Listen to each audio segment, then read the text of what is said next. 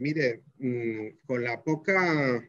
con la poca información que tenemos de momento, desde luego, eh, respetar estas primeras fases del procedimiento que han decidido imputar por, por, las irregularidades contables en campaña al director de campaña de Podemos. Eso lo primero, respeto a esa decisión judicial, mmm, respeto también a los procedimientos judiciales y lo segundo, permítanme una pequeña valoración política.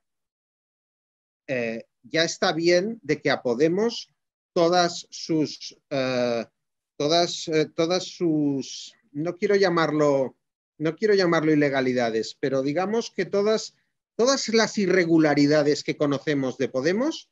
parece que Podemos eh, le dan igual, nunca da explicaciones, nunca asumen responsabilidades, se creen por encima del bien y del mal, parece que llevan la, la, la capa de invulnerabilidad política mm,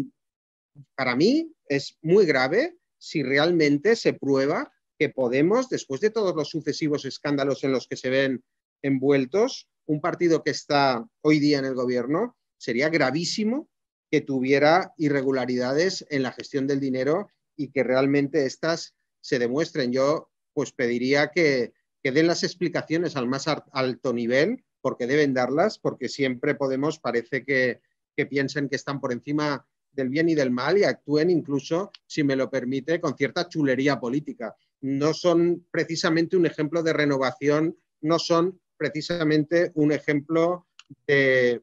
de,